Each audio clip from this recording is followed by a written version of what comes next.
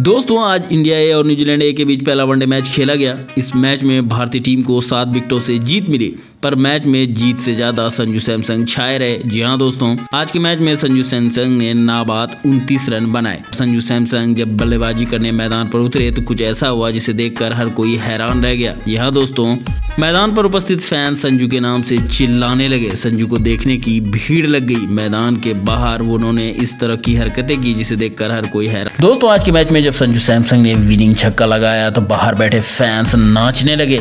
Sanju Samsung की fan following इतनी ज़्यादा है कि वो जहाँ भी जाते हैं छा जाते हैं।